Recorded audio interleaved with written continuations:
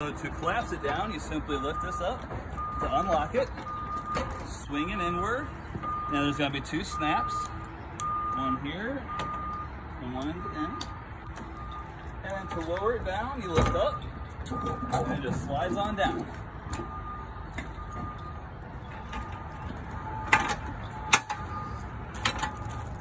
This whole system can be taken off to obviously load your toys and whatnot. And to do that is you pull a pin on each corner. There's gonna be one here, there, and then the same on the other side. And the whole screen porch area will simply come right on out.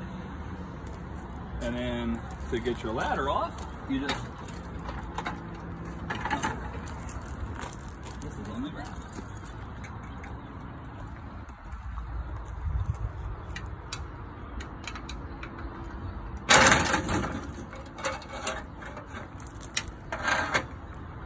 Get the stabilizer foot in.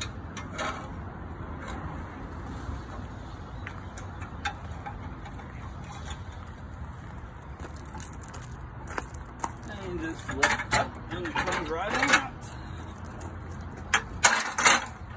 This also comes off. You, you lift up and it's locked in. You unlock it, you lift up, and it folds in on.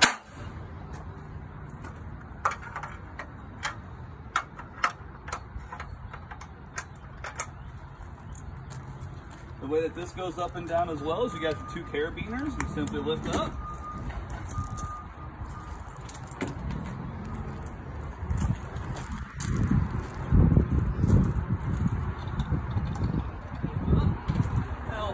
Down, allowing you to drive up inside to put all your fun toys.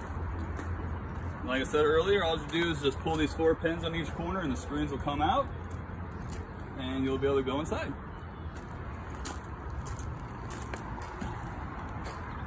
You have an outside uh, TV port. It does cable, satellite, antenna. You simply hook a coax into it, into your TV.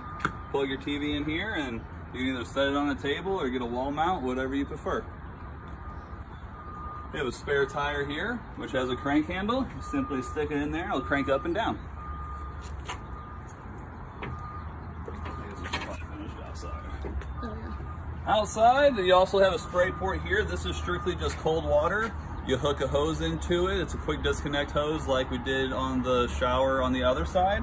And that way you can clean off your awnings or your porch area, the camper, you know, whatever you prefer. The steps simply fold in by folding in on themselves. Just like so. This handle to open and close, you simply lift up and swing it one way or the other.